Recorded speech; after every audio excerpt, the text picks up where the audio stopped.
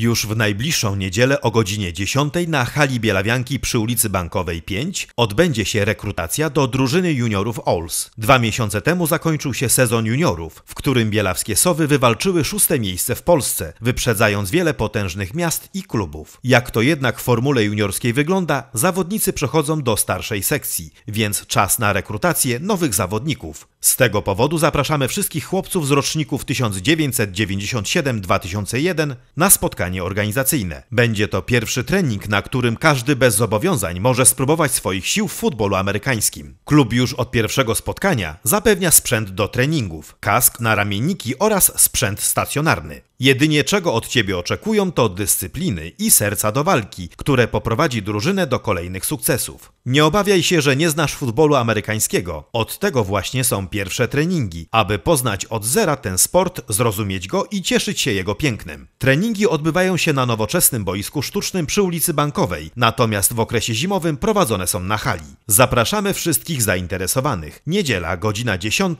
hala Bielawianki przy ulicy Bankowej 5.